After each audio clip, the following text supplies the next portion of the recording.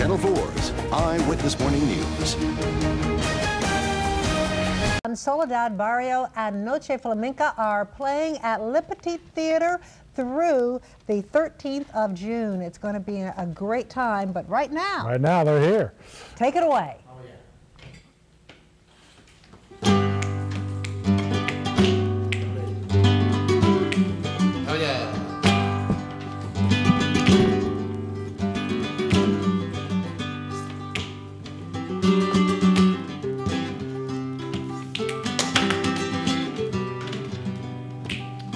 Oh yeah.